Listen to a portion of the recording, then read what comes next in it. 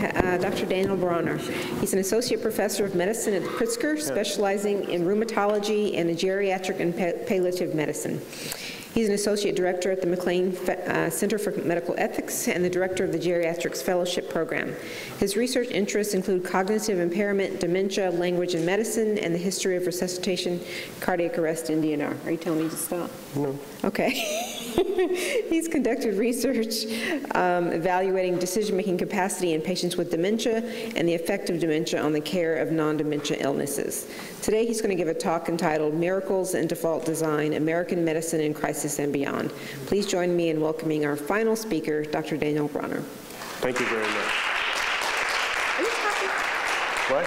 Yeah, that's Okay. the right time. I added one more word, microaggressions, which is really what I'm going to be talking about. But first, I'm going to hit on some of the uh, some of the usual tropes that I've talked about in this conference and other places before, um, and sort of tie it into this sort of new interest of mine, or uh, a side interest.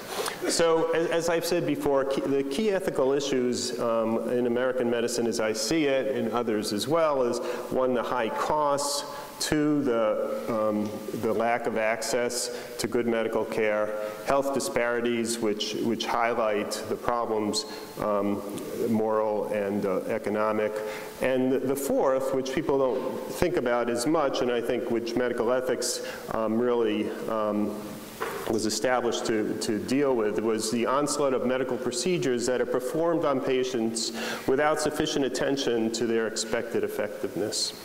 This has also been uh, called the technological imperative, and this is something that people have recognized since the uh, early 80s um, when Howard Spiro, a, a pioneer in um, uh, medical, uh, uh, the, the medical um, humanities movement, encapsulated the force which he saw driving the increasing application of technology in medicine um, at a conference entitled The Technological Imperative. And he said, and I quote, We are all encouraged to do more in the way of technological activities today than 10 or 30 years ago simply because third party payers pay for technology and not for thinking. When you talk with the officials, they point out that it is easy to assess, it should be there, not ask, the procedures, but difficult to assess the cost of a thought. Um, and that's been, I think, one of the basic problems in medicine today.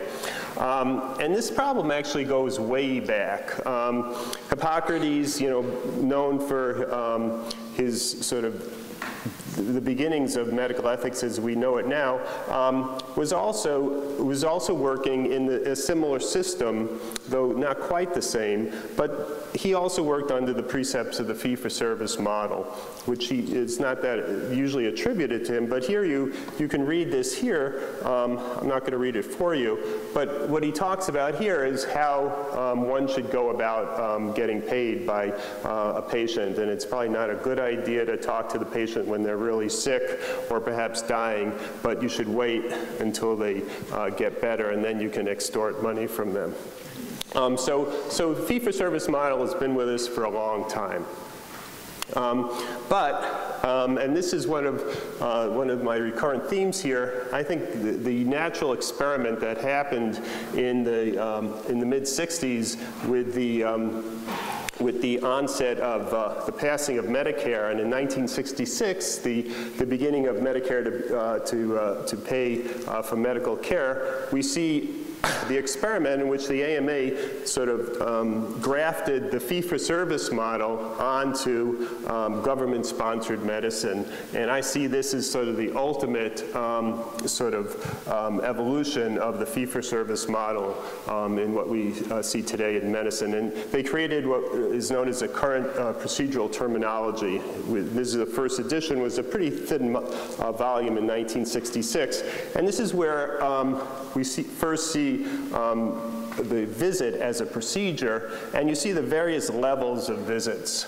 And this is something I'll get back to. But here we see um, the uh, initial visit routine going all the way up to a very complete uh, visit with different relative value units or fees being charged for those. Another uh, important um, uh, consequence of the, of the CPT codes, um, I think that has um, not been really appreciated um, is the way um, specialty was transformed um, by, by the CPT codes. Um, because what they did was they codified the notion of consultation.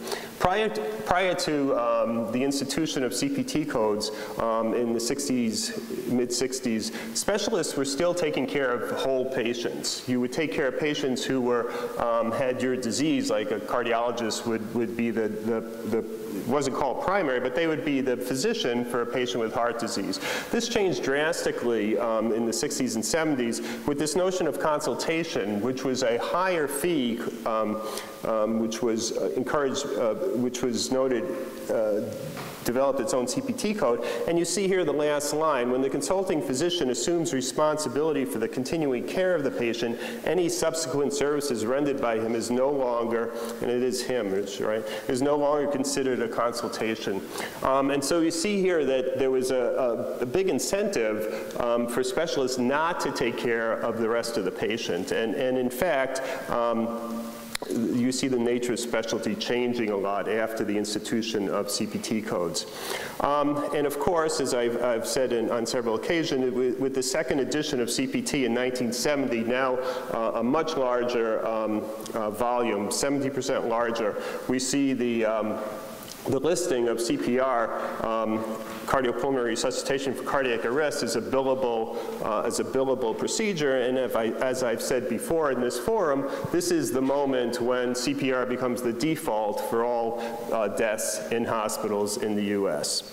Um, in with commencement, uh, commencing with, with uh, CPT codes, we see the birth of the um, in, uh, medical industrial complex, with, which Relman noted in 1980, 10 years after the second CPT code, in which you see the increasing uh, corporatization of medicine um, and the um, huge influx of money into uh, medical care. Um, so I'm going to talk about some of the consequences of what happened as a result of this influx. And one of these, um, this is a Chicago Tribune talking about Chicago history today, um, from uh, a few years after the heat wave, um, March 14th, 1999. You see the, the uh, headline on the front page here, U.S. sues U of C in medical, Medicare overbilling. So um, enlarging this a little bit, so in summary, um, what happened um, was um, they point out that U of C is the Midwest premier uh, medical research institution, um, that they've been fraudulently overbilling or upcoding and now this was not limited to the U of C. This was a, a, a you know, a movement. Um, University of Pennsylvania had just recently settled in, a few years earlier for $30 million. Um, our case actually began in 96 with a sealed whistleblower uh, complaint. Um, and this was a, actually a campaign that began in earnest in, around 1994 after President Clinton's uh, health care reform plan failed. It, it's a response to the just incredible increase in the amount of money that was being um, put into medicine by the government. And they actually, this campaign netted billions of dollars.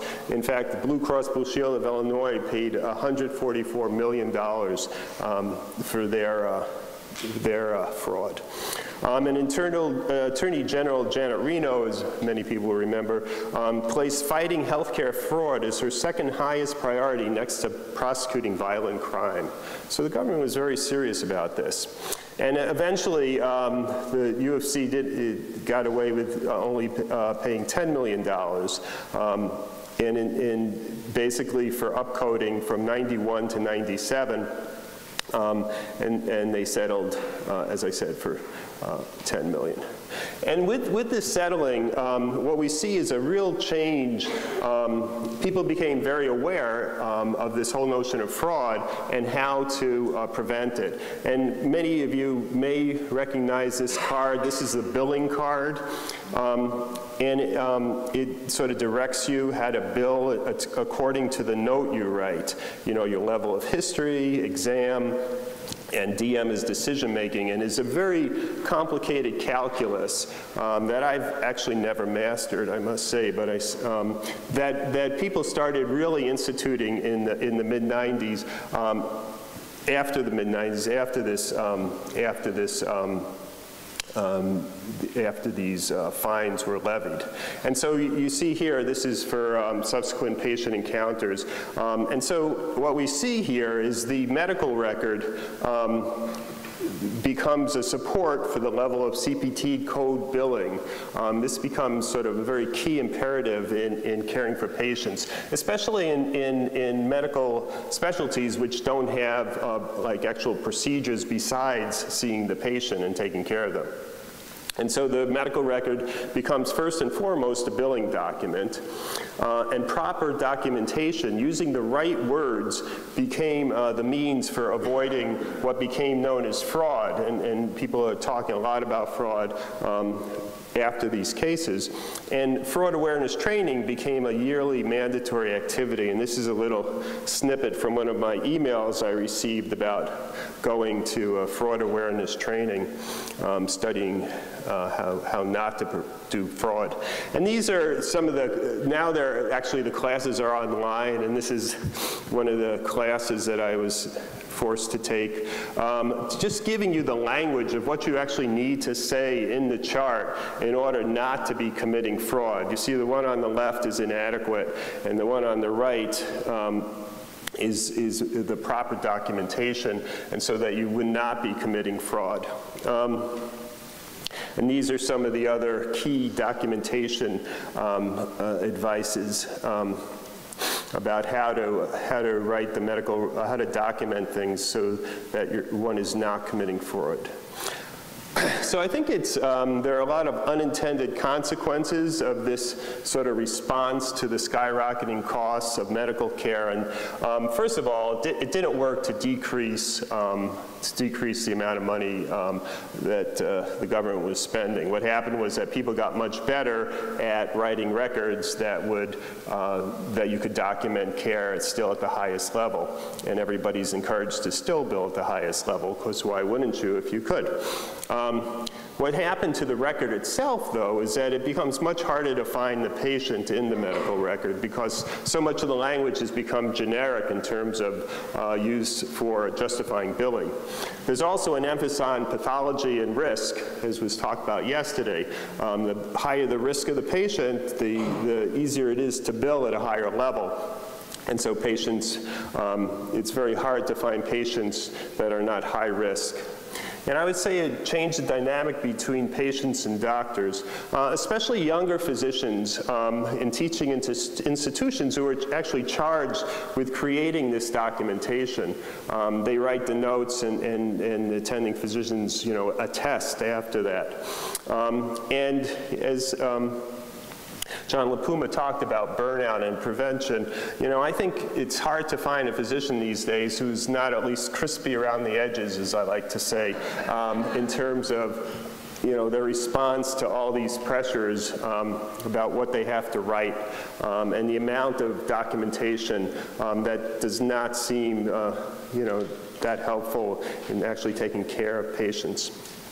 And I think in some cases, what happens is that um, uh, the frustration um, of having to document these things is taken out on patients. And I like to frame these in terms of uh, microaggressions. Um, and um, the microaggression I'm going to talk about most today is um, one I see in charts all the time, doing geriatrics and consulting on older patients, um, and that is the poor historian. Um, so what, is, uh, what are microaggressions? Um, simply stated, microaggressions are derogatory slights or insults directed at a target person or persons who are members of an oppressed group. And here I'm making the case that in some case, that patients um, in the hospital can be looked upon as a, an oppressed group. Um, so microaggressions communicate bias and can be delivered implicitly or explicitly. This, you know. So how do microaggressions manifest? Um, so just a little sort of taxonomy for you. You have the micro insult, which is more of a blatant verbal or nonverbal or environmental attack on a target group. That's you know more obvious. Micro insults is really what we're talking about. Is- So these are unintentional behaviors or ver- verbal comments that convey rudeness or demean a person's racial heritage, identity, gender identity, religion, their ability or sexual orientation and identity. And I, I think it's a patient's ability that's really being questioned in, by this one. Um, Micro-invalidation, just to round it out, is um, verbal comments or behaviors that exclude, negate, or dis- dismiss the psychological thoughts, feelings, or experiential reality of the target group. And this is the classic, um, you know, rejoinder that I'm colorblind. I don't, you know, there's there's no problem here. So um, the poor historian as a microaggression, um, people, um, and this has been studied just a, a little bit, um, but people labeled as poor historians are often older, may have communication difficulties due to deafness, speech disturbances, um, cognitive dysfunction, or uh, distraction, pain or emotional distress. But I would say that other groups as well are, are often characterized, and somebody should do some empirical work about this, but I'm not going to do it. So I think the poor are, are definitely uh, often, if, if you look at who gets listed as a, as a um, as a poor historian, they're often poor, there are some often minority groups, or just, just, just the disenfranchised in general. And in addition, um, the problem with the term bad historian or poor historian is that the patient is not really the historian in the first place, right? The, the doctor or the, the healthcare provider, the person who is eliciting what happened and writing it down is the historian. The patient is the source, right? And so calling the, the patient a poor historian is actually wrong. Besides being a microaggression, it's al- often, it's also not the reality of the situation. So question like, what are other microaggressions as I've been thinking about these days? I think the term drug abuser, especially when it's used in the first line of a history and physical, is, is, is a microaggression. It's a way of, of denigrating the patient and, and calling attention to them uh, in a negative way. Um, I think the whole in certain aspects, when people talk about low health literacy, I think that can be seen as a microaggression. Basically, what they're saying is they don't understand what I'm telling them.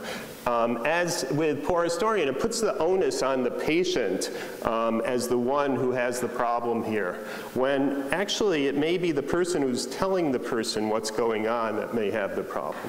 Um, also, the notion of the non-compliant patient, the patient who won't do what I tell them to do. Um, that's the other sort of, um, is, is, is opposed to the notion of, you know, what's going on here? Why isn't the patient, you know, taking whatever I uh, told them to take, looking more deeply into these problems? And that's it. Thank you. You made it to the very end. Mark, thank you very much for giving me this opportunity. I just say quickly, thanks, Steve. All right. I, I want to thank everybody for attending and speakers and Monica for moderating this last uh, uh, session.